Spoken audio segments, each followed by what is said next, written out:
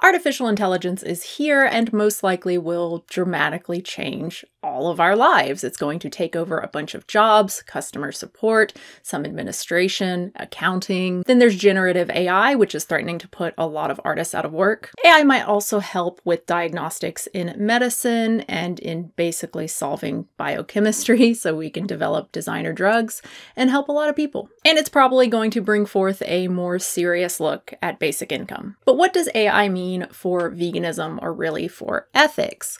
Well, is AI sentient? Because if it's not, then there's no discussion, there's no issue, there's no moral quandary, at least when it comes to the AI's own well being. No sentience, no well being to worry about. We can treat the AI however we want. If only it were that simple.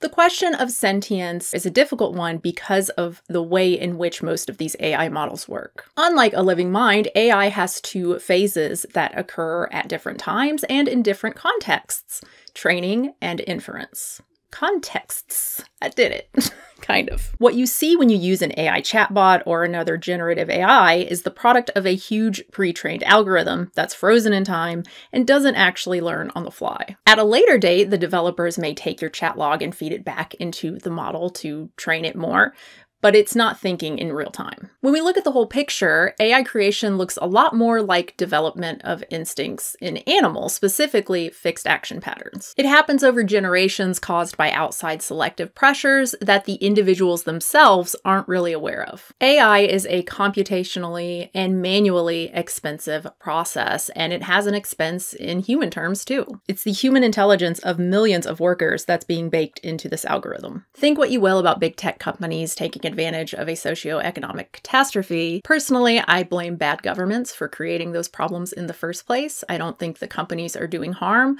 by offering a little extra income at market rate. But the bottom line when it comes to questions of intelligence is that these AI systems are not self training like actual sentience. The changing AI doesn't ever understand that what it did was wrong. It doesn't change the way it thinks or acts in accordance with conscious interests it's not sentient. Now, someday, if the AI does begin self training on its own data, even if that's not in real time, that could qualify as sentience. The feedback loop would be closed, and that would mean the AI would have to have developed an implicit awareness of the meaning of that data, rather than relying on outside forces and a new algorithm. I don't think that's happening today regarding the generative AI that everyone is so obsessed with, and I don't think it's happening anytime soon. So for now, there's no genuine learning or meaningful, real intelligence in these models. They're not sentient. Thank God. People have been so mean to ChatGPT. The human training seen in the major generative AIs doesn't necessarily apply to all artificial intelligence. There are AI that arguably self-train on applications with goals that can be more easily objectively evaluated, unlike questions of which art is good. Games are the easiest example of this because there's a clear set of criteria. You can gauge how well the AI performed in real time and objectively. So you set the AI up with all the outputs it can control and the objective metric to assess the efficacy of the model, and it becomes very much like an actual mind when it's training. It randomly iterates, trying different things like a baby learning to use a hand. It chooses more effective strategies based on its own assessment mechanisms. Basically, reward punishment feedback to encourage some behaviors and discourage others. Again, baby and this is all without having to rely on outside subjective labeling by human laborers. When it comes to an end product, these models follow the same training and inference phases. So if the AI is experiencing anything, it's only experiencing during training. If you play Go with an AI trained bot, it's probably not training during or after your game. It's not experiencing your interaction at all. Training is just too computationally expensive for games to use at real time. This might change someday if NVIDIA comes out with a consumer grade AI chip that doesn't cost all the money. So even if the AI is being tortured during training, it's unlikely that you are continuing that torture by using the end product. So it's fine, right? Obviously not. Meat eaters aren't causing harm by the time they have the end product, the hamburger. But vegans don't really care about that. We don't care about the end product. We care about the harm caused to the cow during the production of that product. Ergo, we should probably care about the harms caused to AI during training. But before I get to the possible harms to AI during training, it's important to remember that since these algorithms can be copied indefinitely without additional harm, the only moral issue would be funding more development. Similar to veganism, to many of the plant products we eat today. A lot of them were tested initially on animals before they were put out into the market, but they're no longer tested on them today. So many vegans, most vegans, including myself, consider these products vegan. Point is, I don't know if it makes much sense to avoid the algorithms themselves as long as we aren't supporting production. But let's say we do end up paying for it. We do end up funding production or otherwise benefiting the training somehow. Then we have to ask is the AI harmed every time it's beat? Does the AI like winning? By repeatedly failing, is an entity of possibly insect level intelligence being tortured for millions of years, the equivalent of millions of experienced years. Maybe. I mean, it's it's hard to come up with any meaningful difference between this simple AI and the simplest insect mind. One is just processed by bits on silicone, the other wetware. The way we treat these cases, consistently or inconsistently, has serious ramifications on the philosophy of animal ethics and the ethics of AI. As the tasks we train AI on become more complicated and demand higher levels of intelligence, it's possible the comparison to gnats would no longer apply. We could be talking about rodent level intelligence dog level, pig, dolphin, even the cognitive power of humans. And unfortunately, this can happen in the background. Sentience being tortured over and over and over again without our knowledge. Like animal experimentation for medical reasons, I don't think developing sentient AI is inherently wrong if you can do more good than harm. But we have to be aware of the inherent moral and existential risks at hand.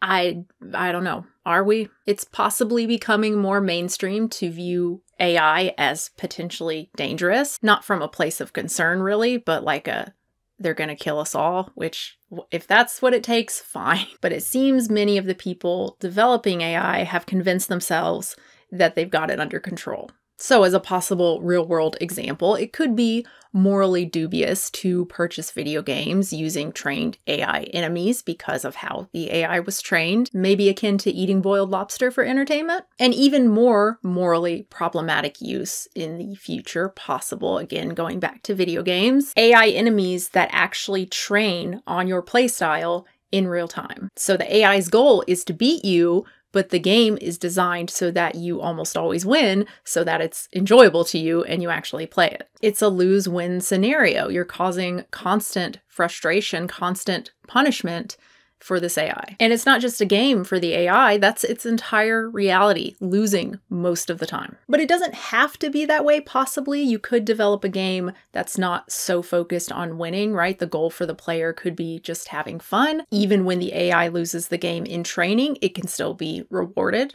Win win scenario. To be clear, this is much different from animal agriculture, where these animals are completely removed from their natural habitats and their own interests totally ignored. There's no win win scenario between the farmer and the cow when the cow's being killed. But it may be possible for artificial intelligence to have that sort of win win relationship, a sentience that would have computationally evolved to suit these specific use cases we're employing them in. Think of a bred to purpose and eager to please dog doing its favorite thing in the world but possibly even more so. If we're going to have sentient AI, that would be the goal. Now, experts are warning about employing AI in critical systems and having weird and unpredictable failure modes. I'm personally more concerned with humanity weaponizing AI, right? Generating fake comments about real world news, spam calls influencing elections, computer system attacks. And at some point, there are existential risks in treating AI badly, abusing animals, and by doing so, teaching AI that it's okay. It's okay to subjugate and kill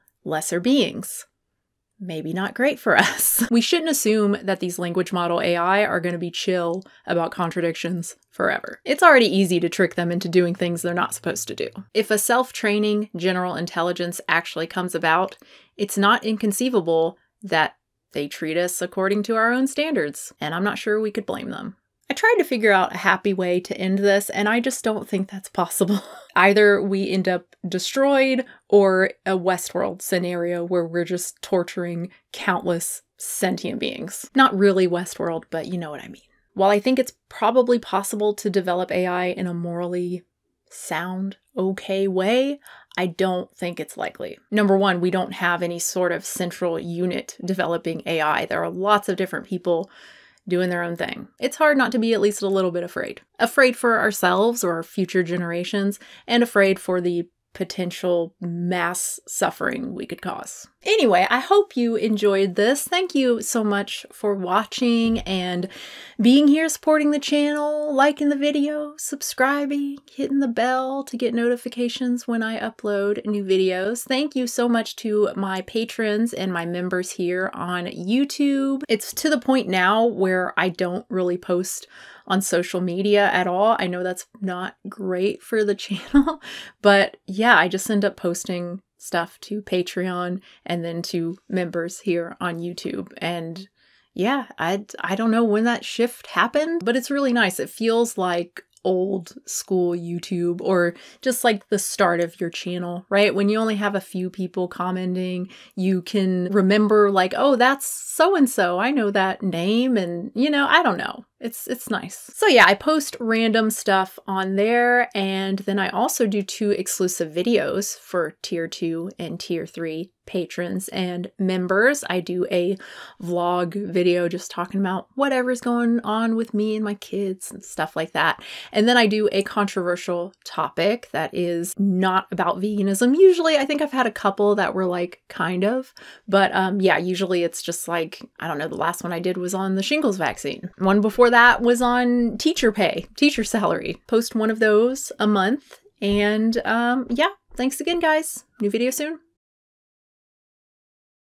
partner and I watched this movie that was better than I thought it would be. I can't for the life of me remember what it was called, but it's about this like post apocalyptic scenario where you have this young girl and she lives with a, an AI, like a, a big old robot with a lady voice. And the girl believes that all humans are dead, I think, and that you can't go outside. It's not safe to go outside and then she learns otherwise and learns that the the mommy robot has been lying to her and spoiler alert turns out the mommy robot is behind all of it mommy decided that humans were dangerous chaotic and mean and wiped us all out in an attempt to start over so she raises this girl and tries to raise her in you know a, a morally uh, appropriate way by by herself without others, which I mean, I I don't know, that could influence things negatively. But anyway, at the end, it kind of seems like she achieved her goal, at least as far as making like the, the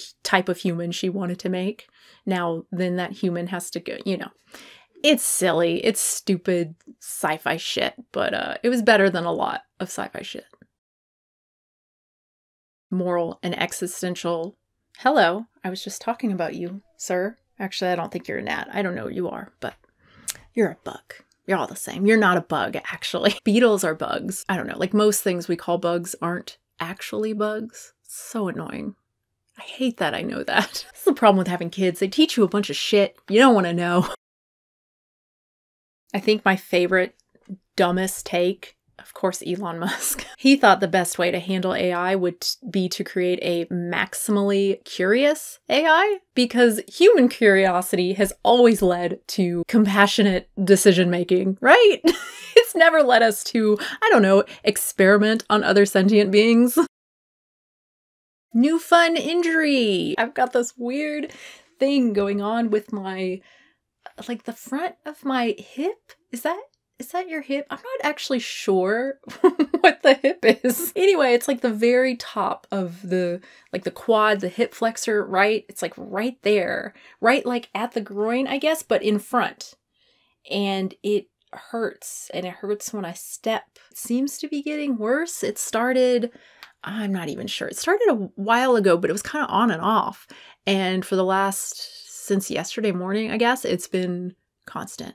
And it's not terrible or anything. I can't feel anything right now, but it's not great. And I it, the, the fact that it's seems to be progressing is uh, a little concerning. So partner's like, go see a doctor. I'm like, I don't, I don't want to do that. what are they gonna do? Be like, oh, it's inflammation. You want a steroid shot? But maybe not. I'm I'm joking, kind of. But uh, yeah, I I will definitely make an appointment with my primary if this is still going on a week from now. Do I really mean that? Well, it'll be almost Christmas time. I can't make an appointment then. Might as well wait till January, but January's crazy too. Might as well wait for February.